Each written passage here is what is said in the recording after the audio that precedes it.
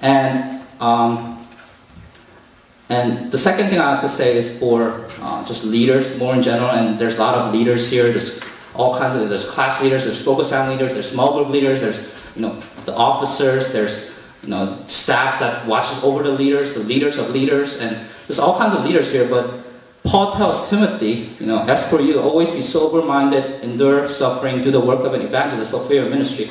So it's like Timothy could be like, Paul, I have so many things to do. I gotta do home visitation. I gotta take care of the widows. I gotta, you know, watch over the elders. And Paul tells them, you also gotta do evangelism, right? So, I mean, it's not just a something that we give to other people, right? It's something everyone has to do, whether you are just a regular member or you're a pastor, right? So we need to um, realize that evangelism is a command. Right? So that's the first thing. And the second thing is uh, evangelism is vital to church growth. And uh, Ephesians 4 um, talks about how just um, Jesus, and you know, the whole book of Ephesians just paints an awesome picture of how he raised and he was ascended to heaven and we were raised with him, right? And even as he's raised to heaven, uh, when he was raised to heaven, he gave out some gifts, right? And gifts are people. And it says in Ephesians 4 11 to 16, and he gave the apostles, the prophets, the evangelists, the shepherds, and teachers to equip the saints for work of ministry, for building up the body of Christ. And um, just, um, I'll stop there for a second. But he gave four types of people here, right? And, you know, he gave the apostles, the prophets, the evangelists, the shepherds, kind of like slash teachers. Um, some people say they're like two separate things. Some people say it's like one person doing both of them.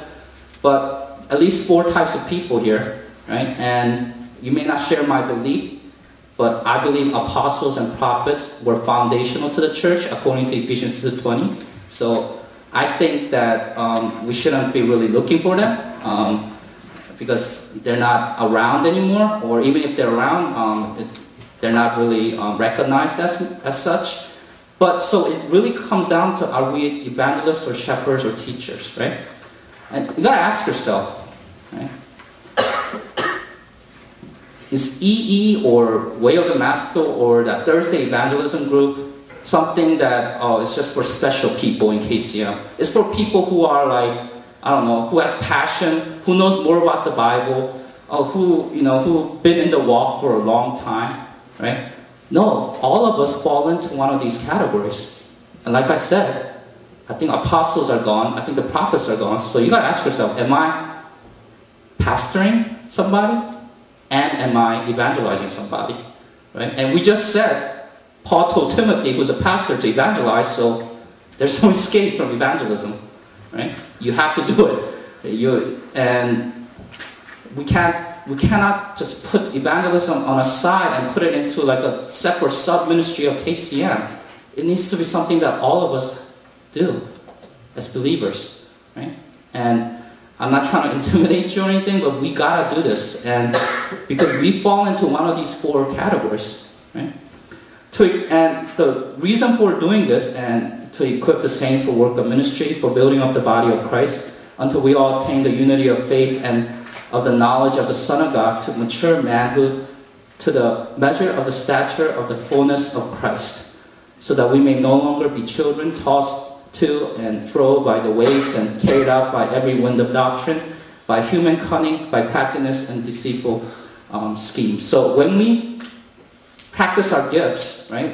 When we practice our gifts as evangelists and shepherds and teachers, um, I think unity, knowledge, and maturity is built up, right?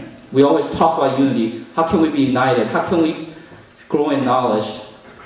Evangelize and be a pastor, right?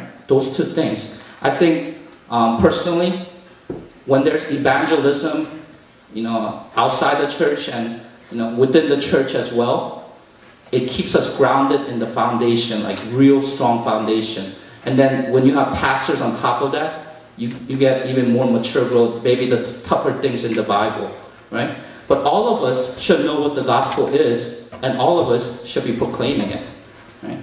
So Unity, knowledge, maturity are the goals, right?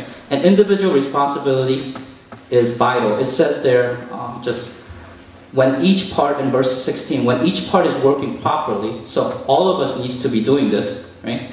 And you know, just doing um, just evangelism and pastoring. And love is the proper context, of course. Rather speaking truth and love, we are to grow up in every way into Him who is the head, into Christ, from whom the whole body, joined and held together by every joint which it, it is equipped, when each part is working properly, it makes the body grow so that it builds up self in love. So I'm not saying that we just do it out of obligation. We need to love God and we need to love each other and we need to uh, share the gospel and so and make evangelism part of KCM and part of our church, right? And you know, just we gotta be able to say that if we don't evangelize, right, our church is not gonna grow, right? We think if we have the right equipment, if we have the nice band, right, if we have a dynamic speaker, right, if we have a nice convenient location or you know just nice building, then people will come. No, no, we need we need more uh, just uh, girls so that we can attract more guys in our church. Or we need more you know, good-looking guys so that we can attract more girls in our church. No, that's not how the church should grow, right? It needs to be the evangelist. I feel like I feel like the um, evangelists are like the gatekeepers and they need to get people in. Right? So I really encourage um, that among your church, if you're if you feel like your church is kind of lacking in that area, you know, don't worry, you don't need permission from you know to from people to share the gospel, right? And if you do, then we have a problem. But I don't think your pastor will stop you from uh, you know sharing the gospel with your neighbors or your, with your friends and even with each other. So start doing it, right? Not everyone here is called to be a pastor, but I believe everyone here is called to share the gospel and evangelize. Right? So you may be like, oh, Sanjay, I still don't know, man. I'm, I'm still kind of young.